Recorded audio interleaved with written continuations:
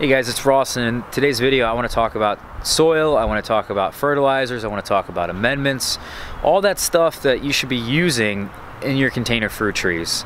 I want to talk about how to apply all that stuff, when to apply it, and what it is. I'm going to show you guys every product that I use and talk about why.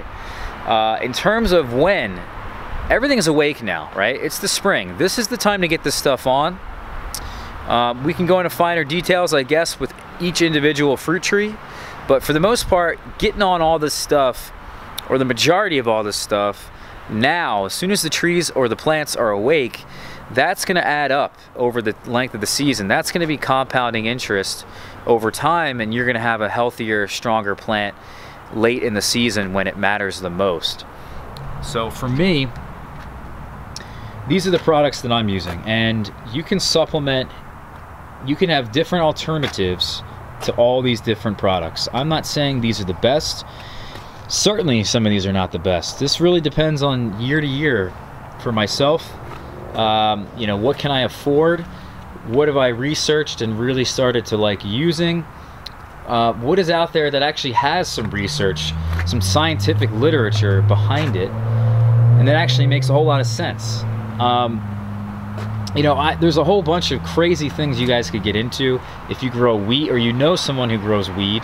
There's all kinds of crazy people out there that use just a stupid amount of products that you don't even know if they really work. So, uh, you know, it's kind of, you can kind of get down a crazy rabbit hole and you may end up using so many products that you're pretty much taking better care of your plants than you do yourself, which is probably not something you want to do. All right. Uh, the first thing I think we should mention is fertilizer.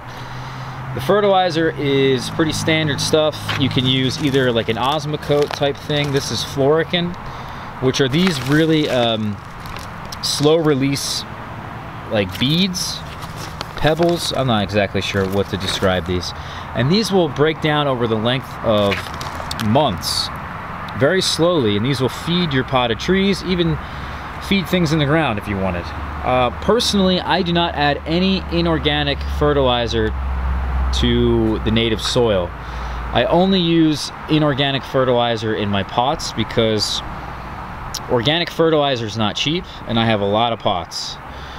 And this is only a, maybe a, third, um, like a fifth of the amount of pots I have. So, um, you know, this stuff can really add up in cost, the organic fertilizer. So if you're going to be feeding a lot of plants, I would definitely recommend getting something that is inorganic just so you don't break the bank. You know, inevitably, if you're growing things in the soil, that that inorganic fertilizer, when it breaks down, it releases a chemical reaction that then turns into salt.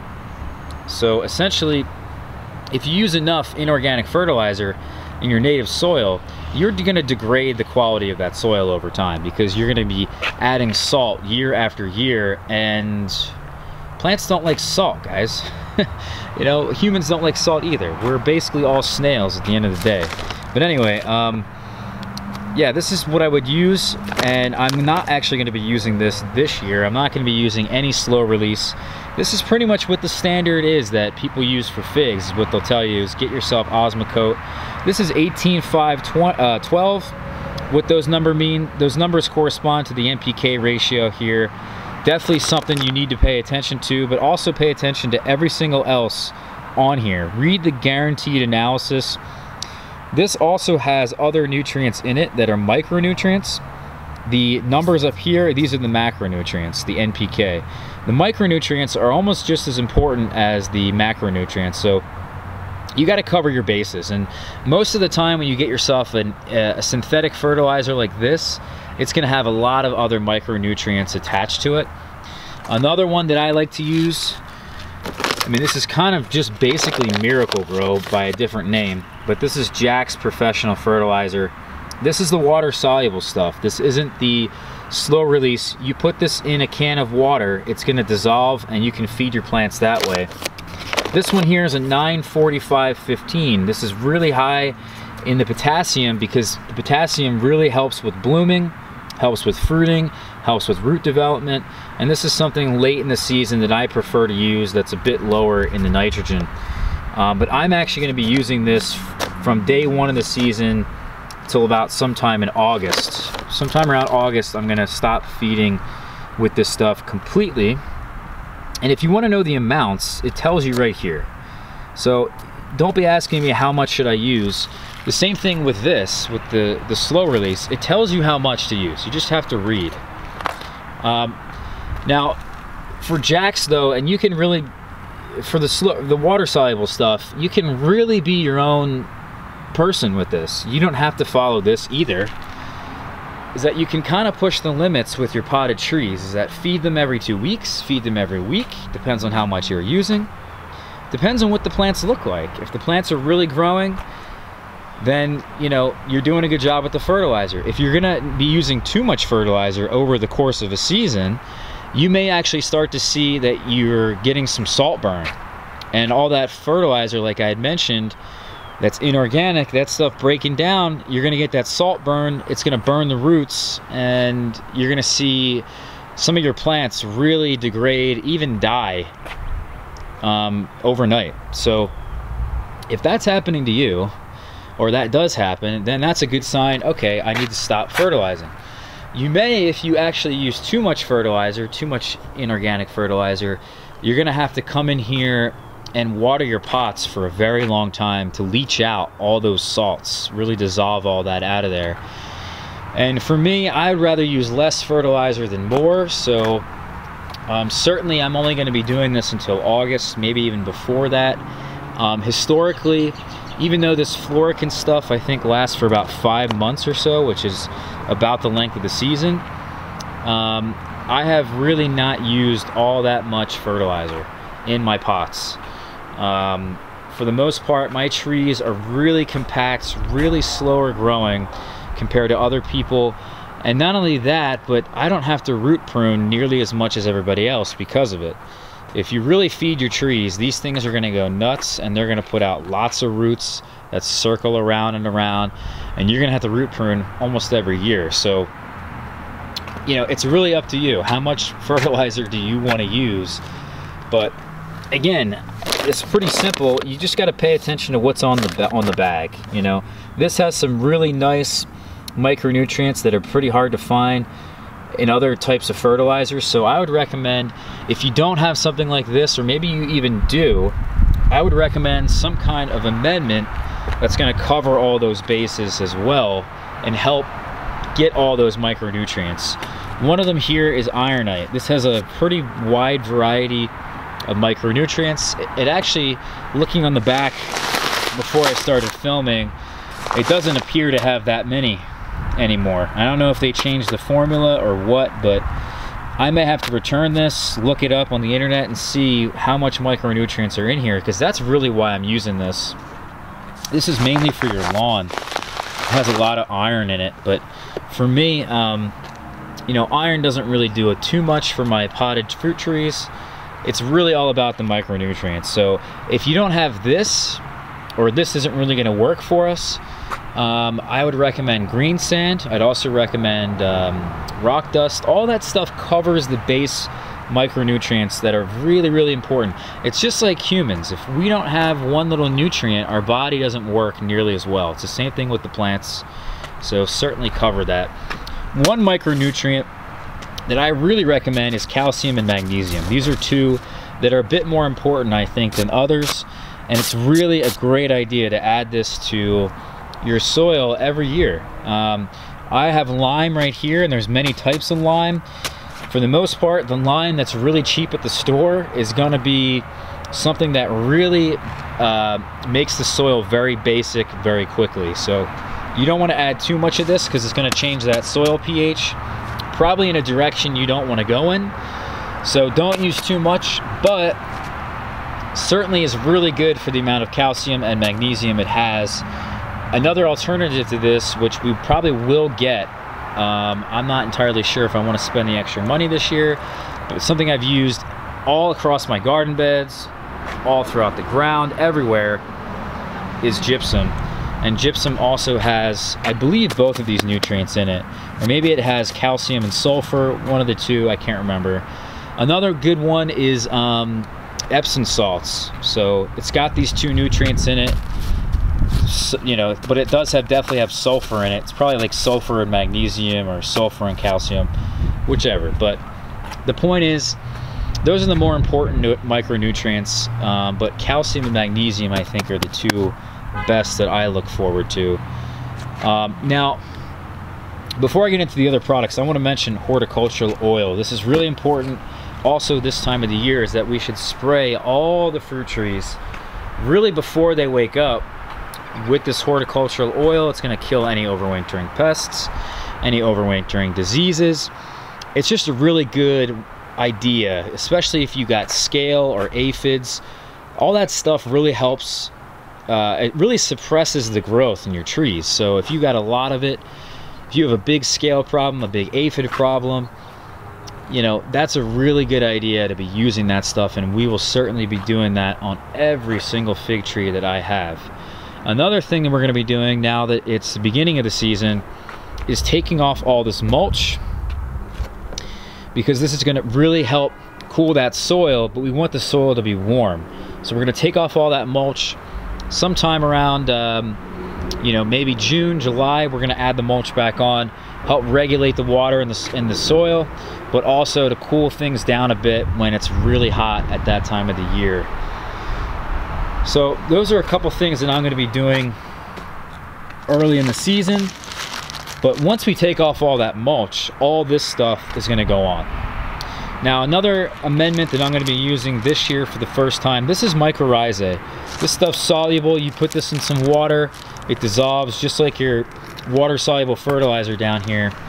And uh, this will inoculate all of your potted plants, your garden beds, your fruit trees in the ground, all of this with mycorrhizae. And this is really, really important. There's a lot of studies about, uh, mycorrhizae. It's very apparent to me. There's a lot of benefits, even to your potted fruit trees. You would not believe, and I've seen it actually, because you can visually see mycorrhizae. I have actually seen it in some of my potted trees, but definitely not all of them have it. And definitely there's not all that benefit going on unless you inoculate it at least once. The good news is you only have to do it once for a perennial because if you inoculate it, they form that symbiotic relationship between the mycorrhizae and the roots and as long as there is roots still there, that relationship will continue. So this is one product that actually I highly recommend because I was looking around for mycorrhizae from a reliable source that wasn't going to break the bank this is MycoGrow from Paul Stamets' uh, company. The man is an absolute genius when it comes to mushrooms and everything related to mushrooms. You know, mycorrhizae is pretty similar in terms of uh, kind of how it grows in the ground alongside mushrooms, but um, well, maybe that doesn't make a whole lot of sense. But basically, the point is, is that his company here, Fungi Perfecti, really has some nice products. I even uh, take some mushroom supplements um, from his website, and they really work.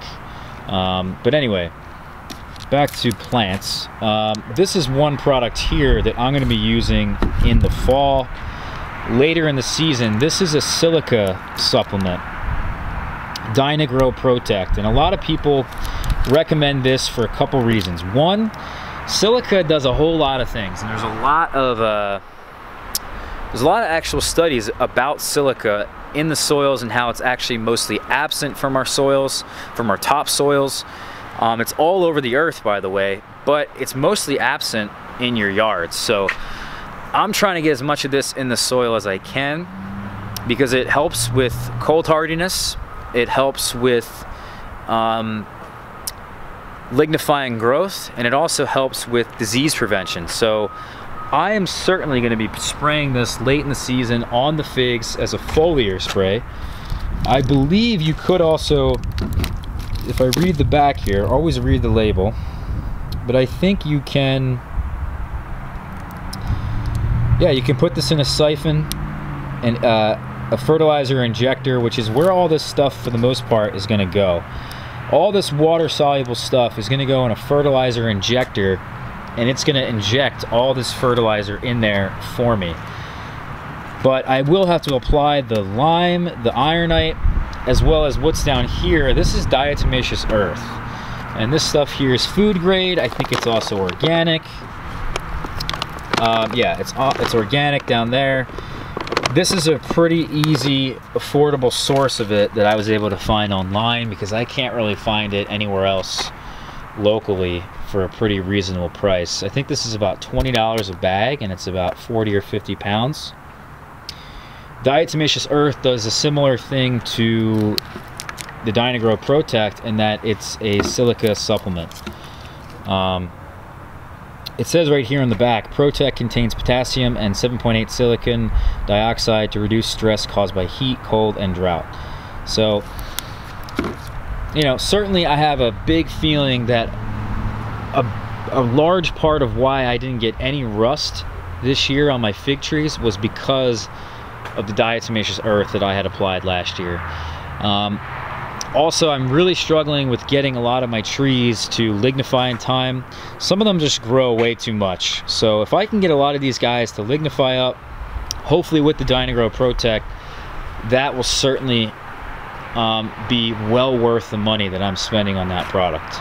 Uh, but overall, this is the only new products and the mycorrhizae. Those are the only new ones that I'm using this year. Everything else is pretty simple. I mean, there's not much else to this. I do want to mention one last thing, which is the soil. And this is the soil I've been using for years. I really wish this company, Just Natural, would reach out to me because I'm pretty sure I've sold more bags of this stuff than their top sales guy. it is a really nice soil. It's organic, um, they also have different types that I really should experiment with, but I love this one because it's a soil conditioner, which is really great drainage. It has really amazing drain drainage and also has the right amount of holding capacity. It's really good for growing just about any plant. Um, it's 50% pine bark and 50% compost, and it's a pretty good compost, I have to say. It's made out of woody um, plant materials, so it's not really made out of any manures. It's just broken down over time um, from plant material. So that is, I guess, the video, guys. Um, hopefully you guys found this one helpful. I know a lot of you guys have been asking me. We've done videos like this, though, in the past, so what I would suggest is if you if you are interested in hearing more details about this, probably one of the best videos I ever did was on this subject. So go back and watch that one. I think it's like fertilizers and soil or something for growing fruit trees in containers. And um, I'm also going to have this one linked. The video or the the video I just mentioned is going to be linked on our social media. So if you follow me there, just look for the video there. Um, we're on Facebook, Instagram, and Twitter. We also have a new blog post a new blog really on the website um, rossraddi.wixsite.com slash blog. If there is ever a new amendment that I'm going to try that's kind of the place where I'm going to talk about it. So follow me there on the blog. You can subscribe down at the bottom. Also like this video and subscribe on YouTube. And uh, we also have pretty much about 26 or 27